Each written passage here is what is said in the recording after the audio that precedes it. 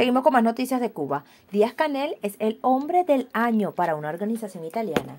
El presidente designado de Cuba, Miguel Díaz Canel, recibió este martes el sello al hombre del año de la Confederación de Italianos por el Mundo, organización que celebra un congreso en La Habana, informó la agencia española.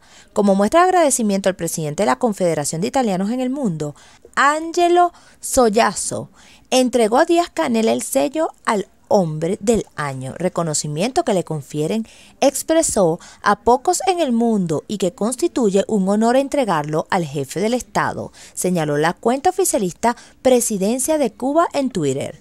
Díaz Canel y el primer ministro de Cuba, Manuel Marrero Cruz, participaron este martes en la inauguración del Congreso de la Confederación de Italianos en el Mundo, que se celebrará hasta el próximo 2 de junio en el Hotel Nacional de Cuba.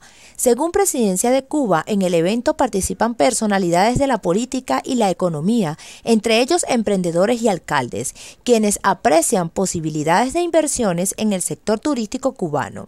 El Congreso de la Confederación de Italianos en el Mundo está organizado por el Ministerio de Turismo de Cuba. En 1998, Cuba fue escenario de este tipo de encuentro. Hoy, tras dos años de que no se celebrara congreso alguno por el COVID-19, la isla vuelve a ser anfitriona de esta cita, a la cual concluyen italianos radicados en diversas latitudes. Tras las protestas del 11 y 12 de julio del 2021, el Partido Comunista de Cuba intenta por todos los medios posibles limpiar la imagen de Díaz Canel, tras llamar a los revolucionarios a enfrentar a quienes protestan en las calles. Tienen que pasar por encima de nuestros cadáveres si estamos dispuestos a todo.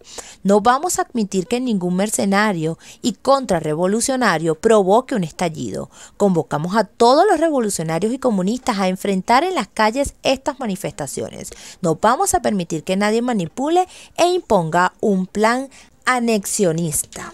La orden está a la calle Los Revolucionarios, dijo Díaz Canel el 11 de julio del 2021. Deja tu opinión en la caja de comentarios, suscríbete a nuestro canal y activa la campana para que te mantengas informado.